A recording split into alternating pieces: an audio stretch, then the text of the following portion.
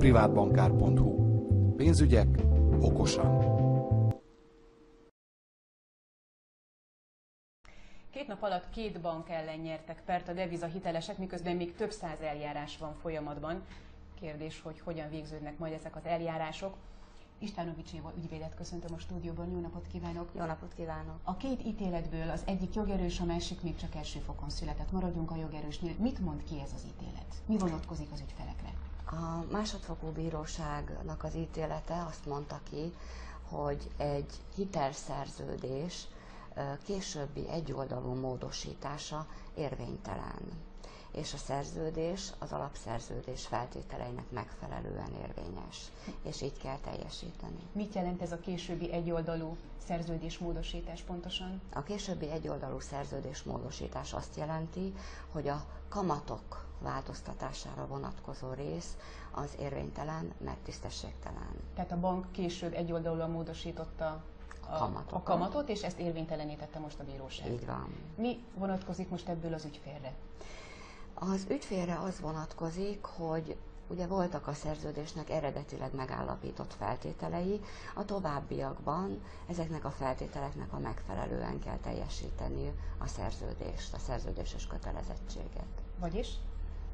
Ez azt jelenti, hogy továbbra is fizetnie kell, csak nem úgy, ahogyan eddig. Természetesen az ügyfélnek továbbra is fizetnie kell, de nem a megemelt kamatokkal, hanem a, a megváltozott árfolyam, ugye a törlesztő részlet az az árfolyam elvá- megváltozásából tevődik össze, a felemelt kamatokból tevődik és össze, és esetleg a költségek változásából áll össze, illetve ha nem változtak ezek a költségelemek, akkor, akkor mindezekből.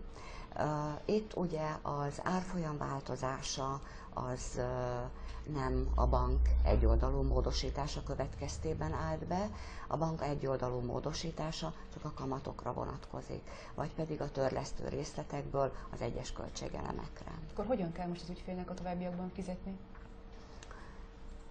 Az ügyfélnek a továbbiakban azt kell teljesítenie, ami a kamatok tekintetében az eredeti szerződésben szerepelt. Mi lesz a különbözettel? Mi lesz, amit eddig pluszban fizetett? A különbözetre nézve elszámolásnak van helye. Tehát egy újabb eljárás lehet, újra perelhet az ügyfél? Nagy valószínűséggel egy új perben fogják ezt megállapítani. Ez a bírósági ítélet erről az elszámolási viszonyról nem szól. Azt tudjuk, hogy nagyjából arányait tekintve mennyivel kell most kevesebbet fizetnie ennek az ügyfélnek? Um, hát ugye a szerződés törlesztő részletének a változása a nagy mértéket azt az árfolyam változást tette ki, a kisebb mértéket a kamatok változásából származó mm, változás. Hogy mégis arányaiban most mennyivel csökken az ő terhe? Ezt meg lehet már jósolni, satszolni? Hát meg lehet becsülni kisebb részben valamelyes kevesebbet fog fizetni, de... Valamelyes kevesebbet fog fizetni, de nem olyan nagy százalékban. Jelenti ez az ítélet azt is, hogy ehhez hasonló szerződésekből automatikusan kikerülnek a kamat különbözetre vonatkozó pontok? Tehát mondjuk az egyoldalú szerződés módosítások, ami a kamatot érintette, azok semmisé válnak? Van ennek az ítéletnek ilyen Nem, ennek, hatása? A, ennek az ítéletnek nincsen hatása a, a többi jogviszonyra. Uh-huh. Csak erre az egy bíróság által elbírált jogviszonyra van, van hatása. Minden egyes jogviszonyt ban szereplő kötelezettséget teljesíteni kell az ügyfeleknek, hiszen ezek élő szerződések. A jelenlegi szerződés, tehát a jogvitával érintett szerződés is egy élő szerződés. Szó sincs arról, hogy a bíróság azt mondta volna ki, hogy az egész szerződés érvénytelen. Egy bizonyos időponttól kezdve a kamatok tekintetében az egyoldalú módosítással érintett rész az érvénytelen. Arra lehet számítani ön szerint, hogy újabb ügyfelek indítanak pereket a bankok ellen? Az azért köztudomású, hogy vannak ilyen perek folyamatban. Lehetséges, hogy újabb ügyfelek is megfontolás tárgyává teszik, hogy pereljenek. Ők mind gondolkozzanak el, mielőtt a bírósághoz mennek? Mit fontoljanak meg? Megfontolandó mindenféleképpen az a, a bírósági eljárásnak a határideje. Hogy ez egy, egy, egy folyamat.